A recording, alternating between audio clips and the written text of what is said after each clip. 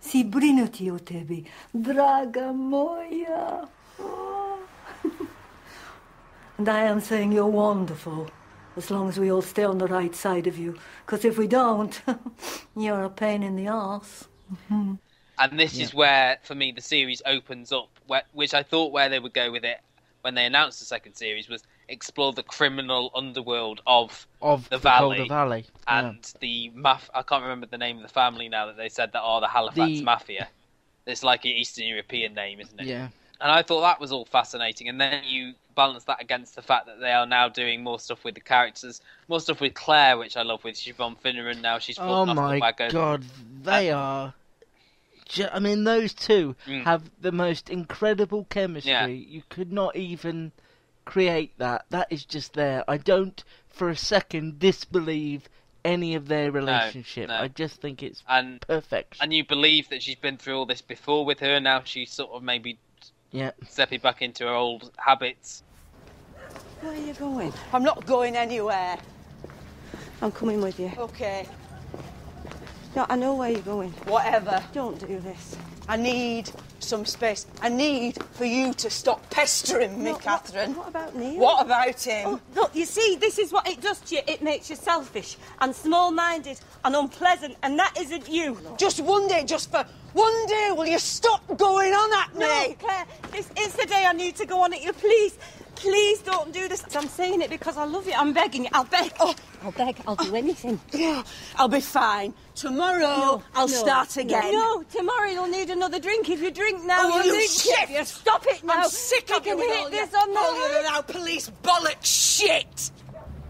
Do you know, if you go down to the jockeys, one thing will lead to another. You know what I'm talking about. There is nothing you can't buy down there. You're not in charge of me, Catherine. Just get out of my life. Go away. Go away.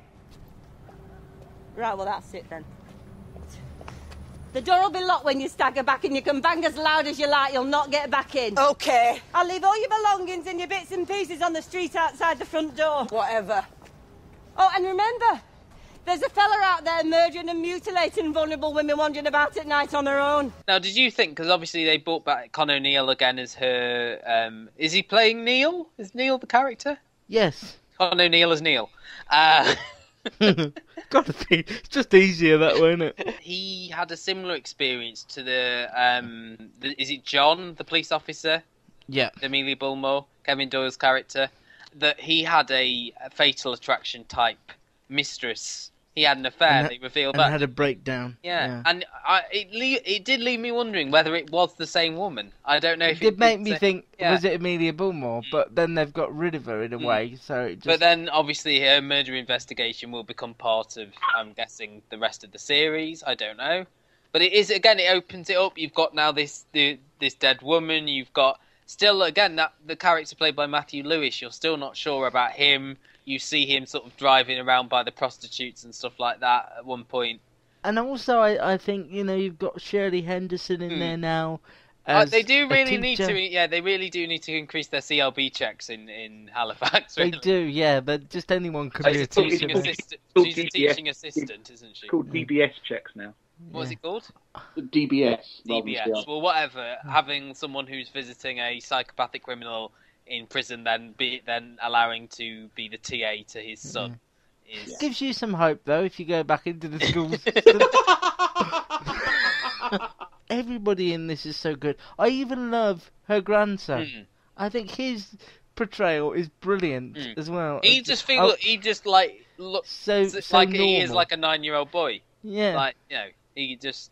I know he isn't probably a nine-year-old boy, but you know, he- No, he's actually three midgets. But I mean, all joking aside, I wrote a piece today saying how perfect this is. It really is the best BBC drama in, I would say, Ooh, careful. te- five, six, seven, eight, nine, ten years. I would You're say. doing a step since what?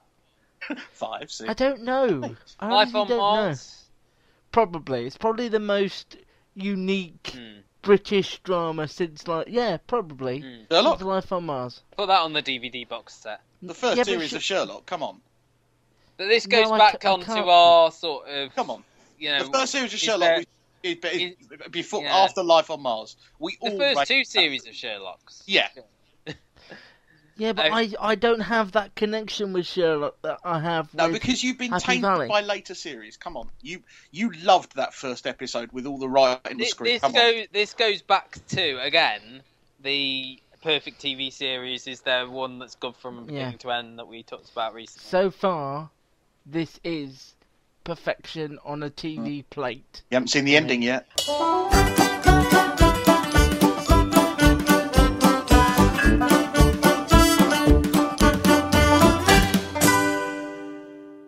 It's called The Midwife. Oh boy. Um, this, this was just the traumatic episode. The bit that got me was the young woman giving birth on her own.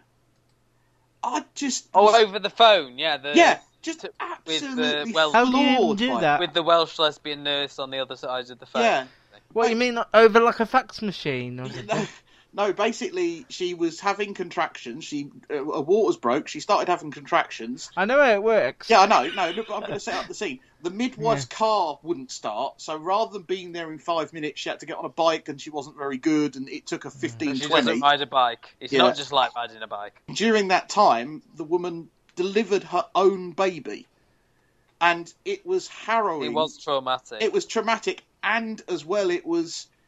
It, it was just emotional. It was just like you- really felt for mm. this woman. You felt the pain and then you that she was later- going yeah. through. But I think they did it brilliantly this week, where she she didn't feel good enough to be the wife of. Yeah. He was an older man she'd married, and she didn't feel good enough to be the mother of the daughter that she'd had, or a wife to this sort of And well. that had a lot to do with her upbringing, Yeah, but you, you didn't didn't- know. you found you- that out. Yeah, and I loved how they revealed it by and by that she grew up in an orphanage, and then you found out she used to be a prostitute. And it was really, really well crafted that Yeah. they didn't hit you over the head with it. And I thought the actress, who was actually apparently an Australian actress, Oh right. uh, it was really, really strong. She hasn't. Uh, the only uh, credit she has so far is in Home and Away, but this I thought she was. I thought she was excellent in this as well. I mean, they had this sort of historical story this week was to do with the smoking and lung cancer and stuff like that. Mm. I like how they only had the one sort of birth story this week, and everything else was sort of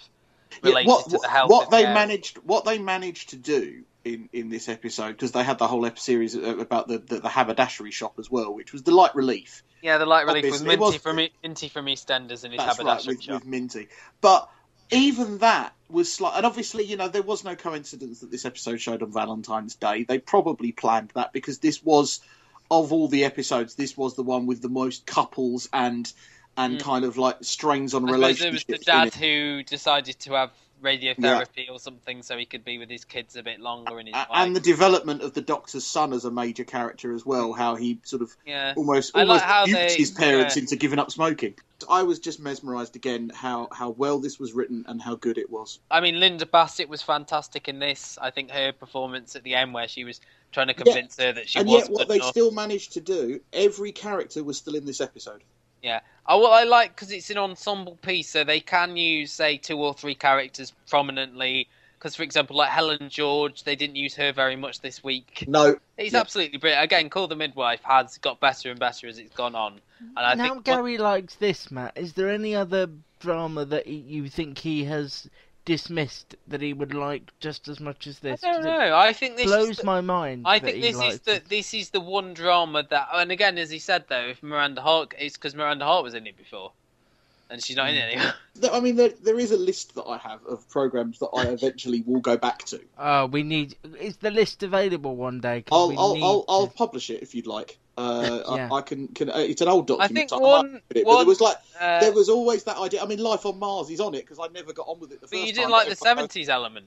I don't know, but I might go back because everybody talks about how good it is, and it does Well- end well. So While we're on sort of depressing e show, should we talk Life and Death Row, Luke? Because I know you've watched this today. Yeah. Wow. was this the BBC Three one? Yeah, should we talk Yes. a bit about BBC Three moving online and what we think about just generally? Yeah, I mean, I don't like the new site. I have to say, I don't like the Daily Dump. Is it or what's it called? the The Daily. daily, daily. Yeah, I'm sure it's not called that. I think it is actually. Obviously, they've been very selective in what they've done. They've been very clever in that the third series of Cuckoo is being shown online. You, you Yeah, well, the, the, the clever Cle- and Well, clever it- meaning nobody has to sit through it on telly. I Well, suppose. no, but they, they know that that kind Cuckoo of program... is a big.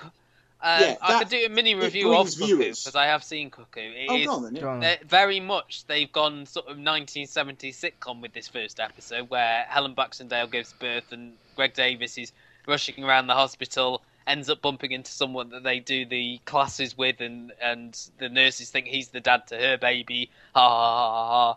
ha. Um, Ha ha ha ha ha. Was that your Uh, attempt at canned yeah. I actually, I'm surprised how good Taylor Lautner is in this. I think everyone was a bit sniffy about him, you know, coming from Twilight or whatever.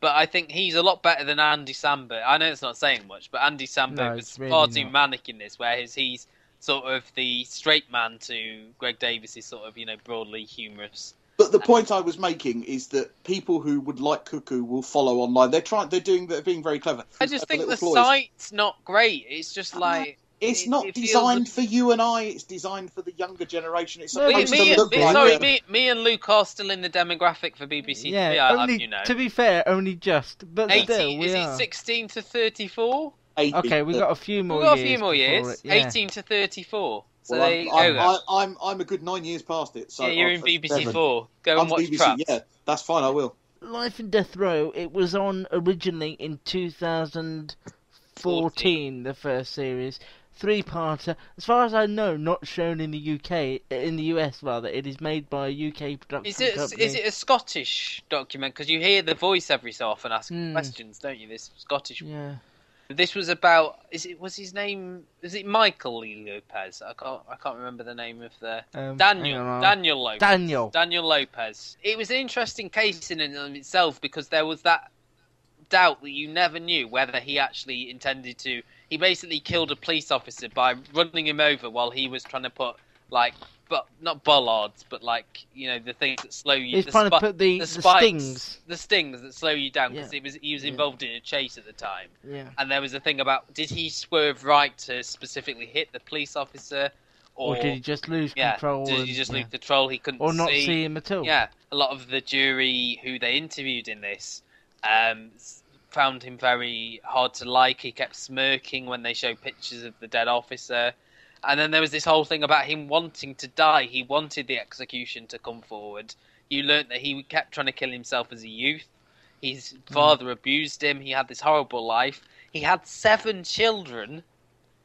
At the age of blew 27. my mind. Different. That certainly, two of them had different mothers because we met them in the documentary. I I loved uh, the, every angle they went at here. The one of the mothers and the, the one of his daughters. Daughters. You had the, the the godmothers from the church who I thought were excellent. They were the only people who'd sort of come to terms with his decision. I liked that Mm. there was these people who were actually sticking up for his right to want to die. Everyone else was trying to hurry, like his lawyer was trying to hurry through the process of trying to get him to, you know, find, be found criminally insane, and that he Yeah. couldn't make the decision on his own. That they wanted to increase the appeal.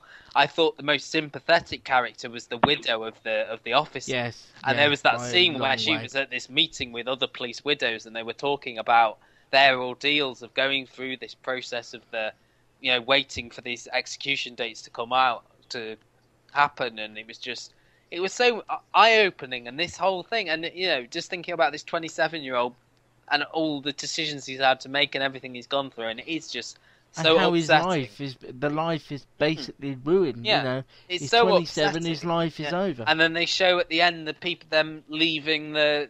It ends with the, the the execution. Obviously, you don't see that on screen, but you see them going in and leaving, Mm. and and just the access that they get in this is ridiculous. But it's so well done. if Yeah. you're really keen to watch it, you don't want to watch it online. It's actually being shown on Tuesday night on BBC One. okay. uh, so you can watch it there. But it, honestly, Gary talks a lot about making a murderer. This is up there with the best crime documentaries you'll see. Honest to goodness. I Life just think the whole thing that there was that, and and the like the sort of epilogue from the was it the judge, the woman that they Mm. she was the, the judge. woman. That, Yeah, and she was there saying, you know, two people didn't deserve to die, and they both now are now dead. You know, she Mm. was saying that she thought that he didn't actually mean to kill the person in the first place, and, now there are actu- two and also you're watching dead. something and, and empathizing, and but there's this impending doom throughout because you know where it's ending up. You know what the end Well, result you is going to don't be. know. You don't because you don't know whether I, you know, until they don't get that, you know, the